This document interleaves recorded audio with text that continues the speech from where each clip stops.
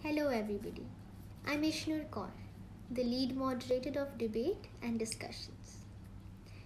And today I want to speak to you about a topic that has become a basic necessity in today's day and time. Something that children love to hear and elders try to give. That's nothing but appreciation.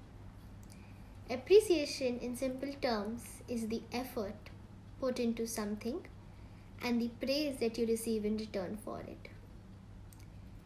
Appreciation can be one of the strongest things in a team, and at the same time, it can be the weakest spots.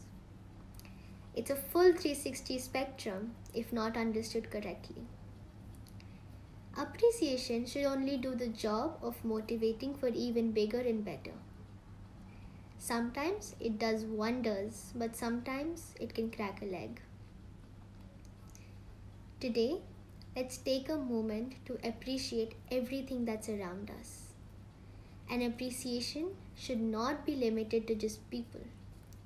Appreciate the things around us, appreciate the flowers, the oxygen, the atmosphere, because appreciation is the key to self satisfaction. And there's nothing bigger and better than inner self satisfaction. Having the stance that you're good enough for yourself is the biggest gift that you can give. Appreciation should be something that we all deserve.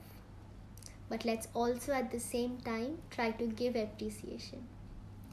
A simple thank you, a simple pat on your, your back, a simple hug can do make somebody's entire day. A simple thank you with your eyes closed to yourself is going to heal your body to strive for bigger and better. That's all I have for you today.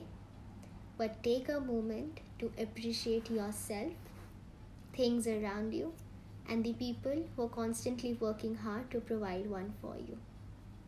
I hope to see you in the next video. Goodbye and take care.